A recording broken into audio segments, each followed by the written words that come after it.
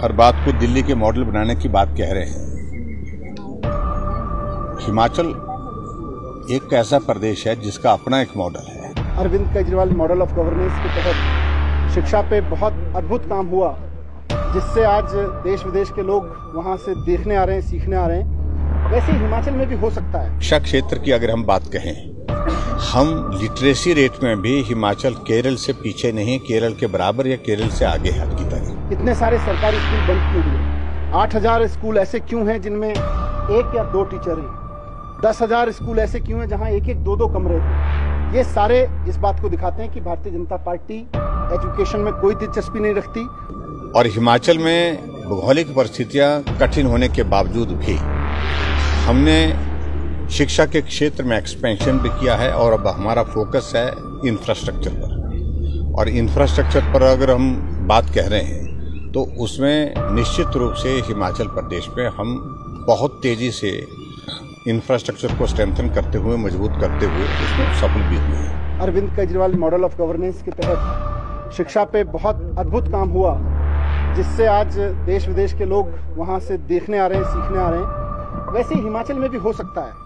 जो दिल्ली की कल्पना यहाँ के लोगों के दिमाग में वो डालने की कोशिश कर रहे हैं, वो व्यवहारिक नहीं है। लोग इस बात को अच्छी तरह से समझते हैं, कहने की बातें हैं, लेकिन वो सारी चीज़ व्यवहारिक रूप से यहाँ पर हिमाचल प्रदेश में संभव नहीं। कि भारतीय जनता पार्टी ने हिमाचल प्रदेश के सरकारी स्कूलों को तो बंटाधार कर दिया है और प्राइवेट स्कूलों को खुली लूट में जाने की छूट दे रखी है। मैंने यही कहा कि अपने आप में ये बहुत सौभाग्य की बात है कि आज हिमाचल प्रदेश की जनता अपने बच्चों के स्कूलों को लेकर बहुत जागरूक हो रही है। आज आपके पास विकल्प है। दिल्ली में जिस तरह से अरविंद केजरीवाल जी के नेतृत्व में हर बात को दिल्ली के मॉडल बनाने की बात कह रहे हैं।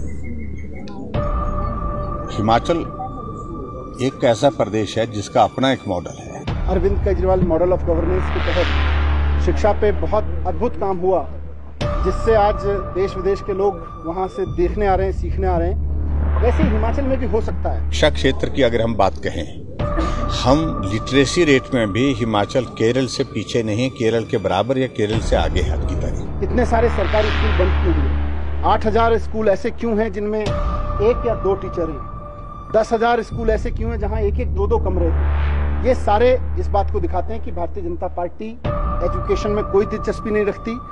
और हिमाचल में भौगोलिक परिस्थितियाँ कठिन होने के बावजूद भी हमने शिक्षा के क्षेत्र में एक्सपेंशन भी किया है और अब हमारा फोकस है इंफ्रास्ट्रक्चर पर। और इंफ्रास्ट्रक्चर पर अगर हम बात कह रहे हैं तो उसमें निश्चित रूप से हिमाचल प्रदेश में हम बहुत तेज़ी से इंफ्रास्ट्रक्चर को स्ट्रेंथन करते हुए, मज़बूत करते हुए उसमें सफल भी हुए हैं। Arvind Kejriwal model of governance के तहत शिक्षा पे बहुत अद्भुत काम हुआ, जिससे आज देश विदेश के लोग वहाँ से देखने आ रहे हैं, सीखने आ रहे हैं। वैसे हिमाचल में भी हो सकता है।